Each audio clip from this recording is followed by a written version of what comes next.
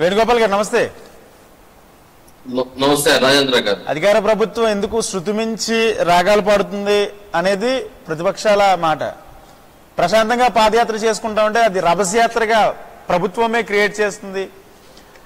అది దండయాత్రగా మేము మారుస్తామంటున్నారు.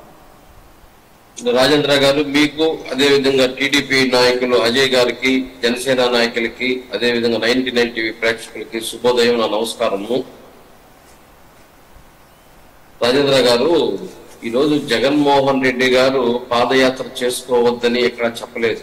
ఈరోజు ప్రభుత్వంకి ఏదైతే మీ రూట్ మ్యాప్ ఇస్తే ఖచ్చితంగా చంద్రబాబు నాయుడికైనా లేకపోతే లోకేష్ కైనా లేదా పవన్ కళ్యాణ్కైనా ఖచ్చితంగా ప్రభుత్వమే వాళ్ళకి బందోబస్తు ఇవ్వడము వాళ్ళకి ఏమి జరగకుండా చూడడం బాధ్యత ప్రభుత్వం ఉంది వాళ్ళకి ఏమైనా జరిగినా కూడా ఆ బాధ్యత ప్రభుత్వం ఉంది కానీ మీరు ఏ రూట్లో పోతున్నారు ఏ ఎక్కడ మీ రూట్ మ్యాప్ అనేది ఇవ్వాలి. దాన్ని బట్టి ఈ రోజు భద్రత ఏర్పాటు చేయడం జరుగుతుంది ప్రభుత్వం.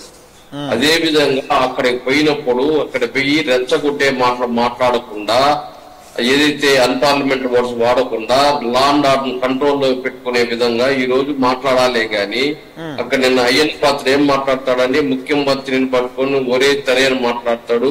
అదే విధంగా ఏదైతే ఈయన బుద్ధ వెంకన్న ఏం మాట్లాడతాడండి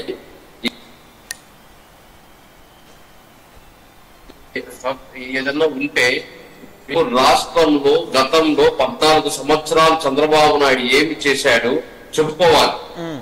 ఆ రోజు ఏం కంపెనీలు తెచ్చాడు ఏం గవర్నమెంట్ ఉద్యోగాలు ఇచ్చాడు ఏమి డెవలప్ చేశాడు ఏం సంక్షేమం చేశాడు అని చెప్పుకునే ఇది ఉండాలి. కానీ అది ఏమి చెప్పుకోకుండా మళ్ళీ నాకు ఒక అవకాశం ఇవ్వండి జగన్మోహన్ రెడ్డి గారి పైన ఆరోపణలు బురదల్లే కార్యక్రమము కొడతాం తిడతాం గుడ్డలిప్పుతాం ఈ దత్తపుత్రుడు ఈ లో- అసలు పుత్రుడు వీళ్ళందరూ ఏం మాట్లాడుతున్నారు? బట్టలు ఇప్పుతాము తరుము కొడతాము అండర్వేలతో టైం కొడతాము అదే విధంగా ఏదైతే ఒక డైరీ పెట్టుకున్నామో ఆ డైరీలో అందరిలో రాసుకుంటాను ఎవరైతే ఎక్కువ కేసులు పెట్టుకుంటారో వాళ్ళకి నామినేటెడ్ పోస్టులు అంట. కేసులు ఎక్కువ పెట్టుకోని వాళ్ళకి నామినేటెడ్ పోస్టులు లేదంట. అదే విధంగా ఉద్యోగస్తులకి వార్నింగ్. డైరీలో ఆయన వాళ్ళ పేర్లు రాస్తున్నారంట. అదే విధంగా వైఎస్ఆర్సీపీ నాయకుల్ని కార్యకర్తల్ని బట్టలు ఇప్పుతాం తరిగి తరిగి కొడతాం అండర్వేలతో కూర్చొని పెడతాము. ముఖ్యమంత్రి లాంటి వ్యక్తిని ఆఫీస్ టేబుల్ ముందు బట్టలు ఇప్పు కూర్చొని పెడతాం. ఇవన్నీ మాట్లాడడం సభ అండి. ఇదే మాట్లాడాల్సింది. ఈ రోజు మీరు ఏం చేయదలుచుకున్నారో చెప్పండి. రెండు వేల పద్నాలుగులో ఏదైతే కలిసి పవన్ కళ్యాణ్ మీరు ఇచ్చిన హామీలు ఎందుకు అమలు చేయలేదో? ఎందుకు మీకు రాష్ట్ర ప్రజలు ఇరవై మూడు సీట్లు ఇచ్చారో? దాన్ని చెప్పండి.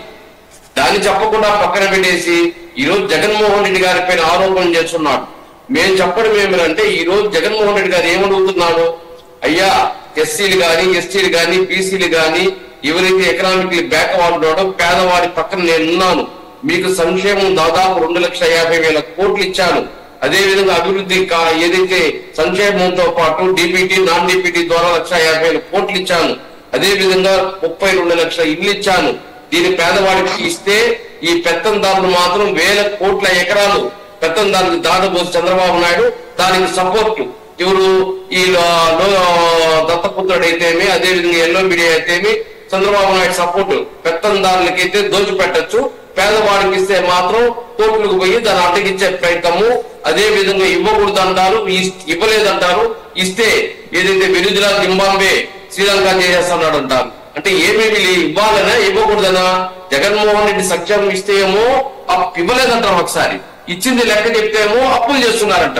మళ్ళీ మీరు ఇస్తే జగన్ కన్నా ఇంకా బెటర్గా ఇస్తాము అంటారు. అంటే ఏం వీళ్ళ ఉద్దేశం? జగన్ సభ్యత్వం ఇవ్వకూడదు. జగన్మోహన్ రెడ్డి అభివృద్ధి చేయకూడదు. పేదవాడి పక్షాన్ని నిలబడకూడదు. వీళ్ళందరూ మనం పెట్టం దానికి పట్టం కట్టచ్చు.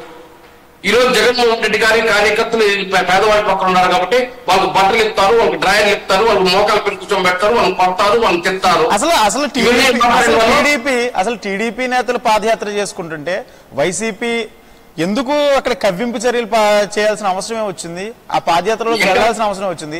అంటే సున్నితమైన సిచ్యువేషన్స్లో ఖచ్చితంగా అక్కడ ఇరు పార్టీలకు సంబంధించిన కార్యకర్తలు ఉంటారు. తెలుగుదేశం పార్టీ కార్యకర్తలు పాదయాత్రలో పాల్గొన్నప్పుడు వైసీపీ అక్కడికి దగ్గరికి వెళ్ళి దగ్గరికి వెళ్ళి కొరువుతో తల కోరుకున్నట్టు ఎందుకు అక్కడ గొడవ క్రియేట్ చేయాల్సిన అవసరం వచ్చింది? రాజేంద్ర గారు మీకు ఒక ఇన్సిడెంట్ జరుగుతాను ఏదైతే చిత్తూరు జిల్లాలో జరిగిన ఇన్సిడెంట్ ఒకటి చెప్తాను అంగల్లో అనే చోట నా పెద్దరెడ్డి రామచంద్ర రెడ్డి పోస్టర్లు ఉంటే ఈ తెలుగుదేశం వాళ్ళపై చెంచడం జరిగింది. ఫ్లెక్సీలు ఉంటాయి పది పది ఫ్లెక్సీలు ఉంటే దాన్ని చించడం జరిగింది. దాన్ని చించిన దానికి వాళ్ళు అక్కడ గలాటా చేస్తారు వైఎస్ఆర్సీపీ వాళ్ళు. దాన్ని వచ్చి ఇక్కడ ఏదైతే ఆయన రూట్ మ్యాప్ అనుగుణంగా పోకుండా బైపాస్లో పోకుండా ఊర్లోకి వెళ్ళే ప్రయత్నం చేస్తే అక్కడ పోలీసులు అడ్డుకొస్తే రాళ్ళతో కొట్టండి రాళ్ళతో రాడ్లతో కొట్టండి అని పోలీసు వాళ్ళ పైన దాడులు చేశారు. అంటే ఇక్కడ ఎక్కడ వైఎస్ఆర్సీపీ వాళ్ళకి తప్పు ఉంది వీళ్ళే అల్లర్లు చేస్తారు వీళ్ళే లా అండ్ ఆర్డర్ చేస్తారు వీళ్ళే రూట్ మ్యాప్ అనుగుణంగా పోకుండా పోతారు మళ్ళీ ప్రభుత్వం పైన ఆరోపణలు చేస్తారు. ఇప్పుడు వాళ్ళ ఉద్దేశం ఏమంటే వెంటనే ప్రభుత్వం పైన లా అండ్ ఆర్డర్ ప్రాబ్లం తెచ్చేసి వీళ్ళు వెంటనే జగన్మోహన్ రెడ్డి గారిని దించేసి ఈ ఎల్లో మీడియా ఈ దత్తపుత్రుడు ఈ అసలు పుత్రుడు అందరూ కలిపి చంద్రబాబు నాయుడు ముఖ్యమంత్రిని చేసేవాళ్ళు రాత్రికి రాత్రే. ఇది వీళ్ళ నిర్ణయం. వీళ్ళ నిర్ణయాన్ని ఎటువంటి పరిస్థితుల్లో జగన్మోహన్ రెడ్డి గారు వాళ్ళ కళ నెరవేర్చడు. ఎందుకంటే ఈ రోజు పేదవాడికి ఏం అడుగుతున్నారు ఓటు? అయ్యా నేను మీకు ఏమన్నా చేసుంటే మన ప్రభుత్వం ఏమన్నా వచ్చి మీకు మేలు జరుగుంటే నాకు ఓటేయండి. మీకు మా మేలు జరగకపోతే నాకు ఓటు వేయద్దని స్పష్టంగా చెప్తున్నారు. మీరు ఎందుకు అమ్మా చెప్పలేకపోతున్నారు?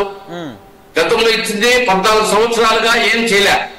మళ్ళీ ఇరవై మూడు సీట్లు ఇస్తే మళ్ళీ ఇప్పుడు ఏమంటున్నారు మళ్ళీ మేము చేదో ఉద్ధరిస్తాము మేమేదో పొడుస్తాము చంద్రబాబు నాయుడు సరే రాష్ట్రం ఏదో అభివృద్ధి చేసేస్తాము మరి ఇన్నేళ్ళు ఎందుకు అభివృద్ధి చేయలేదు?